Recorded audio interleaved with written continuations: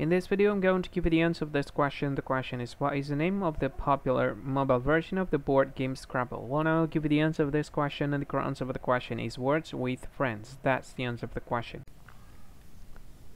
Hi, thank you so much for watching this video. If you find this video is very useful, you can help this channel to grow by subscribing this channel.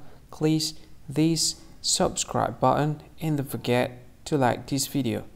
And if you find this video is not really good or you don't really like this video or you kind of feel that it's a little bit offensive or something like that, you can click this one, dislike button. You can do that anyway.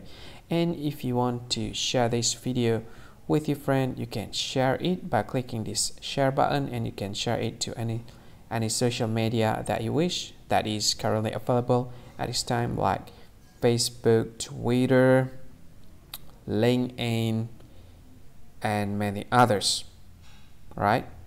And if you want to add this video to your playlist, you can click this one. You can watch this video later and you can find more options by clicking these three dots.